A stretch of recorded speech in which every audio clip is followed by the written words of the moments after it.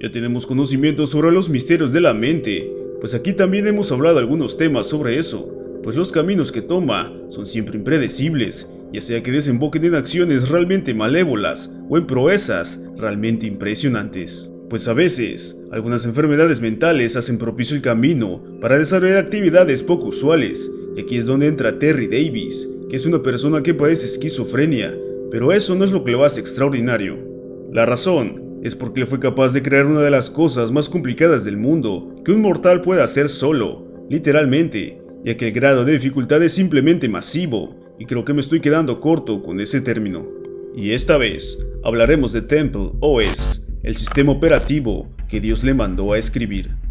Sabemos lo necesario para qué sirve un sistema operativo, pues básicamente es el alma de cualquier aparato de cómputo, desde tu celular, la PC de tu casa, las consolas, cajeros automáticos y un sinfín de dispositivos usan uno en especial, pues toda esa interfaz e interacción que tenemos con esos aparatos es posible gracias al sistema operativo. Pero detrás de eso existe un trabajo monstruoso, que solamente las personas más talentosas pueden realizar y entender, ya que se trata de un lenguaje y el alma de las máquinas, hay que saber con exactitud escribir los códigos que hacen posible que el dispositivo o la aplicación sea funcional y entendible para nosotros los mortales. Millones y millones de líneas de código se necesitan para eso, y no hablar de un sistema operativo tan complejo como el de una computadora, ya sea Linux, Windows o Mac OS, entre otros, se necesitan a muchos ingenieros con una alta capacidad de entendimiento para hacer posible el desarrollo tan increíblemente complicado que le irá a cagar encima a cualquiera. Y pensar que una sola persona sea capaz de crear un sistema operativo desde cero sería casi imposible,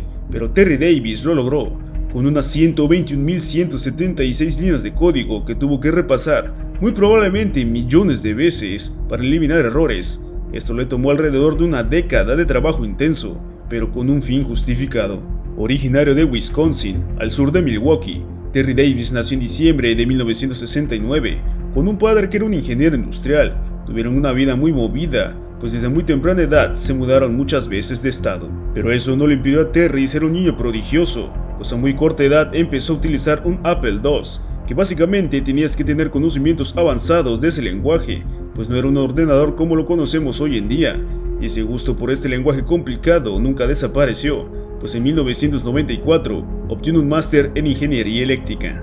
Siendo de una familia completamente católica, al crecer se empezó a cuestionar sobre estas creencias, pues su cerebro, con un alto coeficiente intelectual, no comprendía estas situaciones religiosas hasta que se volvió completamente ateo, pues él creía que su cerebro era lo más parecido a una computadora. Pero irónicamente todo empezó a cambiar cuando él tenía 26 años, pues su cerebro empezó a tener cierto funcionamiento extraño, porque él afirmaba que varias personas vestidas con trajes lo perseguían a diario pues era el principio de la enfermedad, ya que no solamente quedó en eso, pues mediante iba avanzando, las cosas que hacía empeoraban. Abandonó la ciudad sin rumbo y desmontó las piezas de su carro para encontrar algún tipo de dispositivo o algo que le comprobara que estaba siendo perseguido por estas personas. Después de ese episodio, Terry pasó por otro más, pues cuando se quedó sin el carro, por lo que hizo, la policía lo encontró caminando en la carretera y se lo llevó, pero fue una sorpresa cuando se tiró del vehículo en marcha, cosa que lo llevó al hospital, donde también escapó,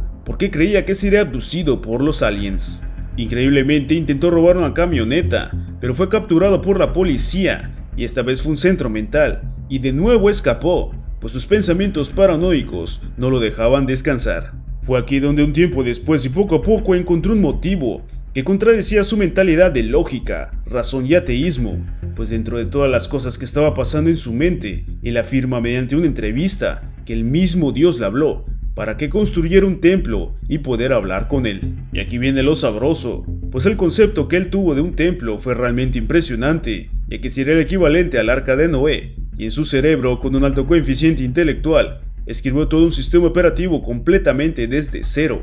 Temple OS funciona hasta este año 2018, por si quieres descargarlo para usarlo, te dejo abajo el enlace.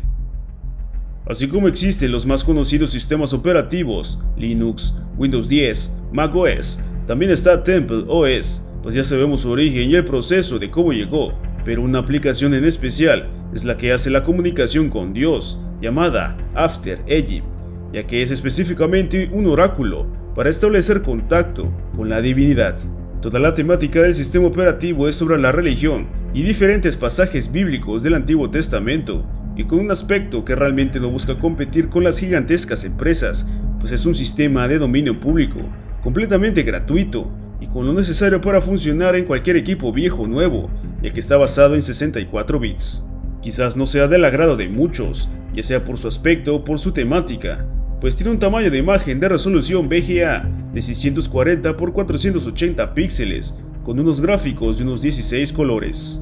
Y la cereza del pastel es que para lograr esto es realmente inimaginable, ya que Terry tuvo la brutal tarea de no solamente aprender el lenguaje C para comunicarse directamente con el BIOS, pues los lenguajes se dividen en dos, en alto y bajo nivel. El nivel alto es el que entiende las personas, un ejemplo sería programar en Java, y el nivel bajo es el que entiende la computadora, pues el lenguaje C se traduce como el lenguaje de ensamblador para poder comunicarse directamente con el BIOS. Y de por sí esto se escuchará muy mamón y complicado, pero para complicarlo más, la única persona que ha hecho algo tan complejo es el mismo creador del lenguaje C, Denise Ritchie. Y algunos pensarán que también los sistemas como Unix, Linux, Windows y macOS se necesita aprender C, y hasta el mismísimo Linus Torvalds, creador de Linux, también lo hizo, y todos los que han hecho una distribución de Linux lo hicieron también. Pero estos últimos tomaron el núcleo principal llamado Unix, es en el que están basados todos los sistemas operativos,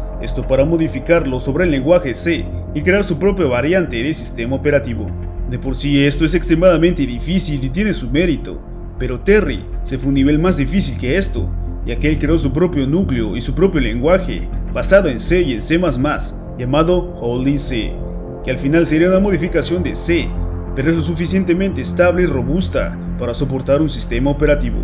Pero bueno, esto es solamente la punta del iceberg y una explicación a muy grandes rasgos de temas con un alto grado de estudios de ingeniería en software, ya que yo no soy un programador, pero tuve una asesoría con mi compañero Fernando Ugg para que pueda entender más sobre qué estaba tratando, ya que él sí es un verdadero ingeniero en software y conoce en profundidad estos temas y sabe sobre el extraordinario trabajo de Terry Davis. Y a palabras de Terry, él afirma que se ha tenido respuestas de Dios, y no solamente en su programa After Egypt, también en su día a día, pues dice que sus respuestas se basan en la aleatoriedad y la mayoría de la gente no es capaz de entender. También es consciente de que el mundo solamente hablará de él sobre un programador esquizofrénico y solitario que dedicó una década de su vida a escribir un sistema operativo para solamente hablar con Dios pero él está convencido que su obra maestra perdurará en el tiempo y será mejorado por personas que se den cuenta del mensaje que Terry quería dar y se use para lo que originalmente fue hecho, pero también tiene sus dudas si será posible lo antes mencionado. Terry Davis ha demostrado lo que es capaz de hacer una sola persona con un alto grado de concentración y dedicación en una sola cosa, pues ya sea por el motivo o fin para lo que lo haya hecho, no cabe duda que es una verdadera mente maestra. Espero me regalen su poderoso like, especímenes, y no olviden suscribirse, ya que cada lunes subo material para intentar distraerte en el inicio de semana. Y no olviden compartir el video con sus amigos, tal vez a uno le inspire para estudiar en profundidad el lenguaje de las máquinas y ser el próximo en desarrollar algo increíble. Hasta la próxima.